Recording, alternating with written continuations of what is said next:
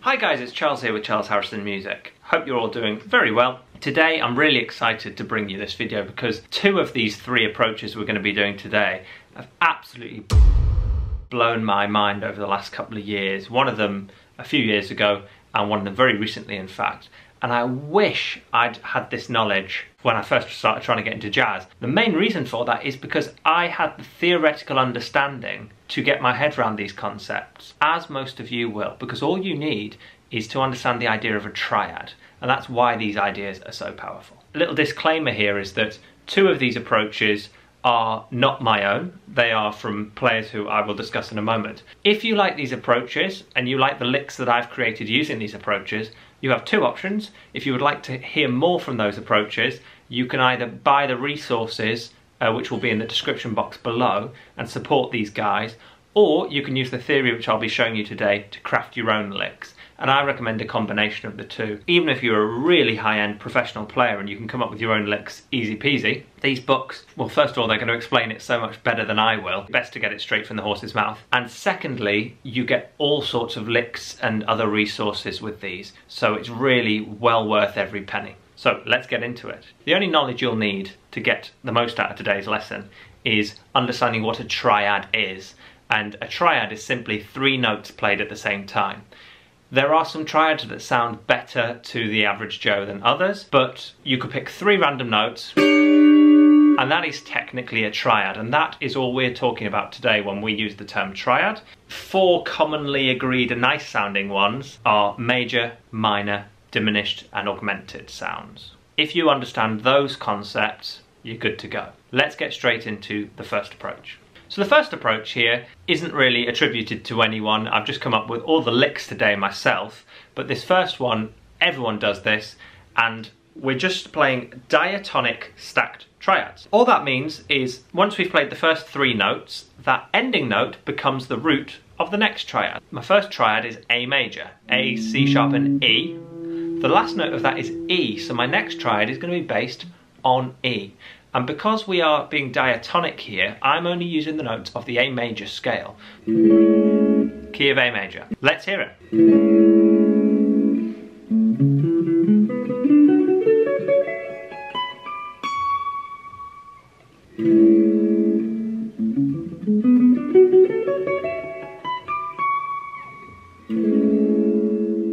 So that's a nice primer lick, and that's the first approach here, stacked diatonic triads. Now the second approach is also diatonic and this is the first approach which I'm afraid I can't take any credit for.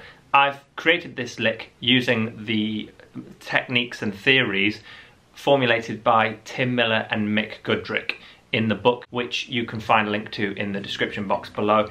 It is an absolute must read. Now the fascinating thing about both of the resources I'm going to be referring to today is that they both explain their theory in a post-it note size of paper it can be condensed down because it's so basic and so simple and yet of course so incredibly powerful that any player of, of you know once you've learned a triad you could learn a triad in your first few weeks of playing and you then have all the tools required to create the most outside sounding jazz lines you've ever heard in your life. The Tim Miller and Mick Goodrick approach is based on this theory of generic modality compression.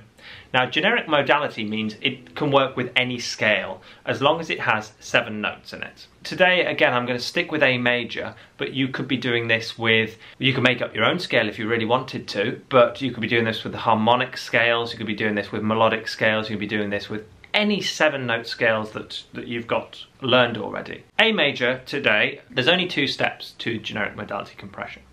The generic modality part means you need to choose a scale. Now the piece of music normally dictates what key you're in and therefore what scale you're in, but if not, if you've got an option, pick one. It could be generic, it doesn't really matter. The compression part is you remove the root from that seven note scale. By removing the root, you now have six notes to play with, not seven. It has become compressed. The final step is those remaining six notes you split into two groups of three or two triads and you can split them any way you like. There's six notes there, you can pair them in any order as long as you end up with two triads. Today, the triads I've picked in the key of A major are B, C sharp and E, and G sharp, D, F sharp. They're completely arbitrary chords, I just liked the sound of them.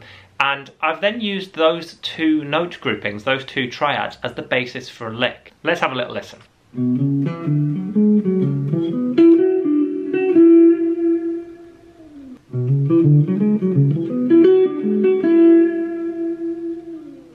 the title of the book suggests, Creative Chordal Harmony, this book is leaning more towards the harmonic side and, and the accompanying side of guitar. However, if a triad works for harmony, you can use that same triad and arpeggiate it to create lines, and that's exactly what we've done in today's lick. That leads us nicely onto our last approach, which is by George Garzoni, or George Garzone, I'm not quite sure. Again, post-it note-sized rules here, really simple. Whichever triad you ch choose to start on, the next triad must be based on a note a semitone above or a semitone below your finishing note. So, just to give you an example of that, if I pick A major and finish on E, my next triad must be based on either E flat, which is a semitone below, or F, which is a semitone above. The second and final rule is once you've picked either E flat or F in this instance, whichever triad you form can't take the same inversion as the previous triad unless you play the notes in a different order.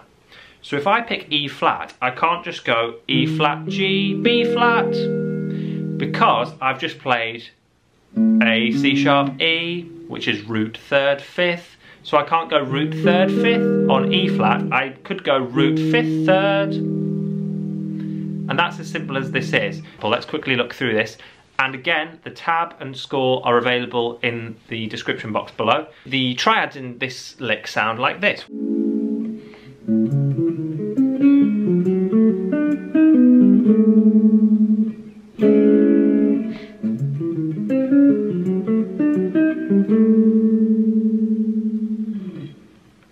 Funky, so outside sounding, just using triads. So if you've made it this far, well done. The first two examples, of course, pretty diatonic sounding if you stick to major scale sounds, but the world is your oyster. You can pick any weird sounding scales you like to for the generic modality compression. For the George Garzoni approach, it's literally called the random chromatic triads, which tells you exactly how it's gonna sound.